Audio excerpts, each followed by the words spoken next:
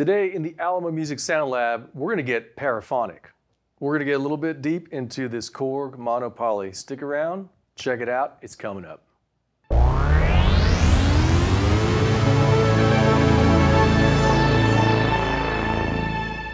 I'm Roland Bettis. This is the Alamo Music Sound Lab.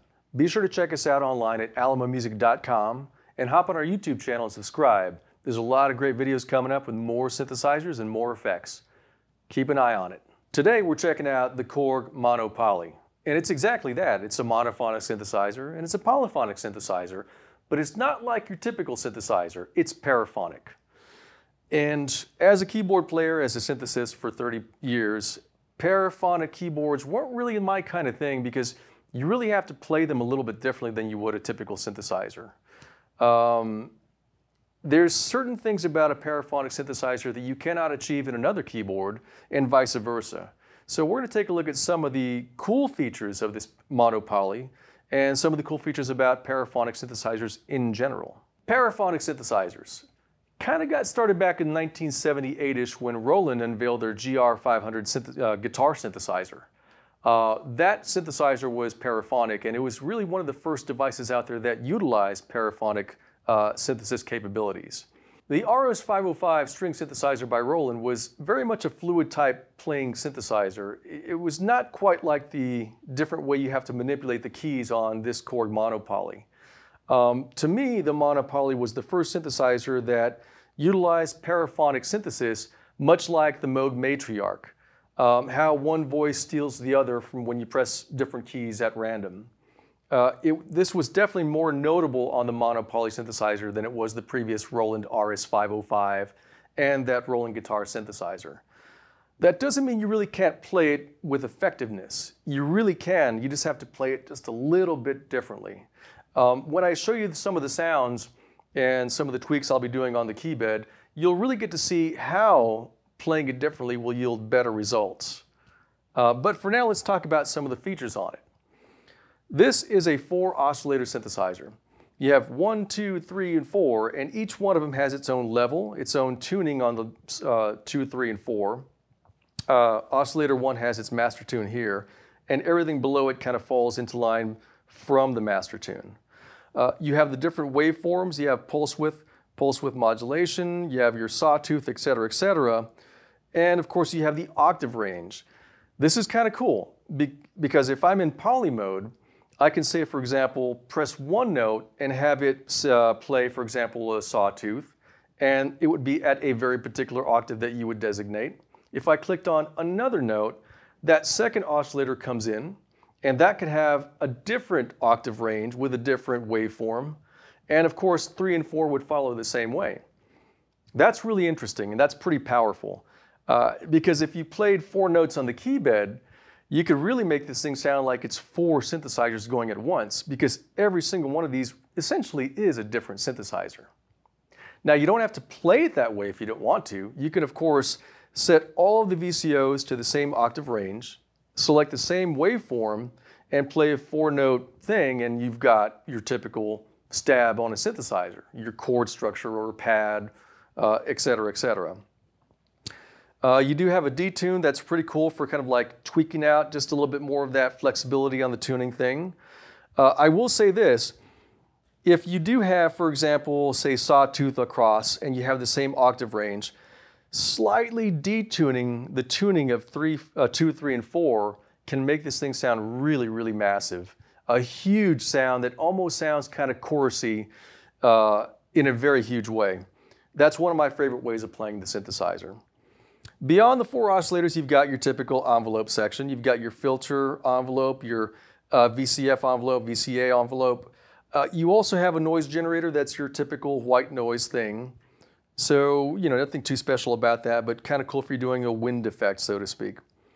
Uh, you've got your portamento right over here, which is pretty typical of a synthesizer. And on this section, this is kind of where the fun stuff starts. You've got two LFOs on here.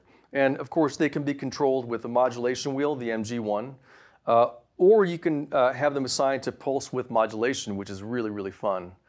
You can also engage the effects button right over here to navigate what that LFO is going to do and where it's going to go. That's a pretty wild thing, and I'll show you more of that later on in a demo. But it should be noted that although it says effects on it, it's not your typical effect. It's not going to be a reverb. It's not really going to be a chorus. It's not a delay. It's more of, say, for example, Xmod. You can kind of get into like the FM territory a little bit on there. And of course, it's all about the sync mode. Of course, you can also assign it to pulse width modulation and the filter itself. So a pretty powerful LFO section here. And I should say that LFO on this keyboard is labeled MG. So beyond that, we've got our pitch and mod wheels, and we have a really cool arpeggiator. The arpeggiator is assigned to MG2, well, that LFO2, and that can be controlled by just the notes in itself, or you can have the notes alternate on the arpeggiator. So for example, if I was doing a four note stab with the arpeggiator on, you could have each note of the arpeggiator trigger a note from each oscillator at random. That's pretty cool. I don't know of any other synthesizers that really do that the way it does, but I like it. I like it a lot. It's really musical. We also have uh, a different uh, way of kind of controlling the synthesizer, where on the poly mode, you've got unison and poly mode. You also have mono modes. Mono modes, to me, is a very underrated aspect of this synthesizer. Honestly, half of the time I use this keyboard, it's always in mono mode. And the basses that I get from this thing are massive. Why? Because I'm running four oscillators in mono mode. That's pretty sick. Uh, you can also have it assigned to chord memory, which is kind of cool. I've never been one into the chord memory thing. It's kind of where you like play a chord and you hit the button. Then if you play a single note, it'll generate that chord. You would kind of record it onto that button. Um, might be useful for some people that know, don't know how to play very well. Uh, but for the most time, uh, most part, I really don't utilize that function. And of course, you do have the hold function, which holds the key bed in place once you click that button. Really useful for when, you, when you're engaging the arpeggiator section. Taking a, uh, a look outward, if you take a look at the graphic design and the build design, this looks very much like a Korg Poly 6. Poly 6 and the Mono/Poly kind of came out at the same time, right? Well, the Poly 6 was more of a typical synthesizer. It was kind of meant to em emulate or being rival to the Juno 106, so it had a lot of the features of the, of the Juno 106. The Mono/Poly was Korg's very, very different attempt at getting to something kind of wild and kind of different, right? Uh, because it doesn't really operate like your typical synthesizer. I really think that their main focus was getting into the Poly 6 thing and then releasing this along with it as kind of like a little side keyboard thing, see how the people like it and see how it generate, uh, or generated interest. Um, and that said, it really didn't ger generate a whole lot of interest when it first came out. Uh, speaking of which, it came out in 1981 and it, was, it ran through to 1984 in production. During that time frame, when people would see the mono poly right next to Poly 6 at a music store and they'd play both of them, they'd be like, what the heck is this? I really can't do what I usually can do on a synthesizer, so the biggest seller was the Poly 6. It wasn't until a few people just kind of bought one on a whim and really learned to get the most out of playing it and playing it its own particular way. Uh, this keyboard has been on a lot of soundtracks, it's been on a lot of albums, and I think once you hear it, you'll say, oh, I have heard that before. And had it not been for this keyboard, those sound textures and, and the way it did its thing would never have been around. And I really do think that this did pave the road for future polyphonic or paraphonic synthesizers, like that Moog Matriarch, which to me plays very, very similarly to this. Although the sound is a little bit different, they both operate the same way. How about the connectivity? Well, on the back panel, you've got a lot of stuff, and it's really great stuff. You've got CV in and out, which is always awesome. Your trigger is right there as well. You do have an arpeggiator trigger in, which is fantastic if you're trying to clock to an external drum machine. So just like I mentioned on a recent Jupiter 4 video, if you have an 808 or a 909 drum machine, you could send that clock out into the arpeggiator and have them synced up proper. Really cool for that. You also have a VCF input, so you can assign, for example, a foot pedal as an expression controller to the filter and also to the portamento itself. That's pretty neat. There's a lot of connectivity on the back that gets really creative really fast. Of course, you do have your output section, which to me is a very loud type of output. It's a lot louder than most synthesizers. I don't know if it was designed that way, but at nominal, say, unity level on a mixer, this thing's a lot louder than typical. So watch out for that. Uh, the last thing I'd like to say about this Mono/Poly, eh, jumping back to this front panel, is about the filter.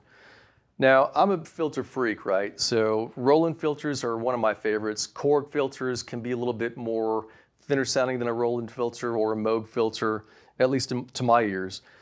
This particular filter, and it's also on the Poly 6, is a lot edgier than your typical filter. I don't think it goes nearly as wide on the throw as, say, for example, a Moog synthesizer, but it does have this sharp kind of metallic thing going on to it which can be very useful for some sound texture programming. Uh, not necessarily my favorite filter, but on this synthesizer, it really does a job fantastically well. So hats off to, to Korg for creating this really unique filter, uh, filter section. Okay, enough talk. Let's hear it in action.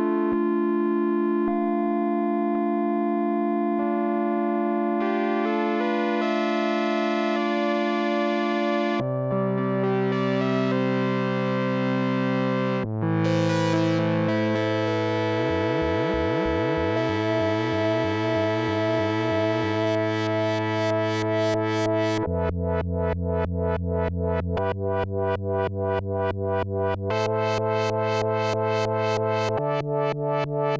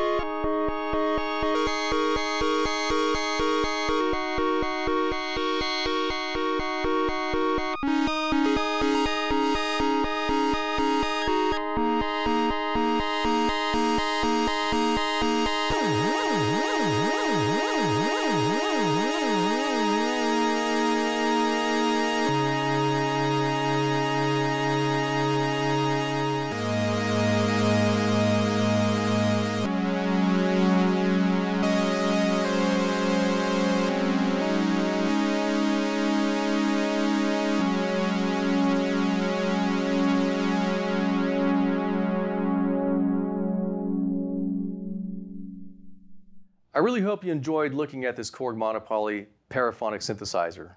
It certainly is unique and it's just a joy to play. It's really a cool synthesizer.